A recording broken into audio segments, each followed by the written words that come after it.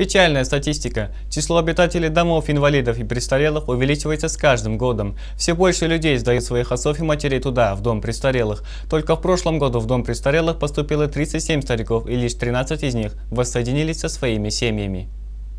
За последние годы все больше и больше пожилых людей, даже имеющих своих собственных детей, переступают порог дома престарелых. 2011 года пришлось поменять название таких учреждений. Теперь они называются Центр предоставления специальных социальных услуг. Теперь здесь не принимают тех, у кого есть дети. Их двери открыты только для тех пожилых людей, которые остались совсем одни. Конечно, находиться здесь не самое радостное дело. Какими бы хорошими ни были здесь условия, ничто не заменит тепло домашнего очага и счастливого смеха внуков бұл кісілер ә, бізде м, Средний возраст здешних обитателей около 80 лет. Похороны в случае смерти мы устраиваем сами. Если это представители разных наций, мы проводим обряд согласно их религии. Все расходы берем на себя. Это предусмотрено в бюджете. Николай Власов поступил сюда в связи с семейными обстоятельствами. Увы, не сложились отношения с сыном, и коротать свою старость ему придется здесь, в доме престарелых. Надежды, что его заберет сын, уже нет, говорит он.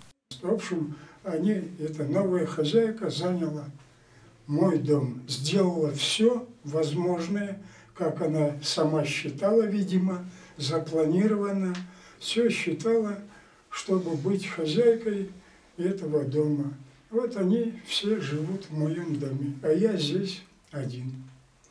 В нашей области действуют три таких специальных центра, в которых проживает свыше тысячи стариков. Они уже и не надеются на своих детей, только со стороны желают им лучшей доли, чем у них.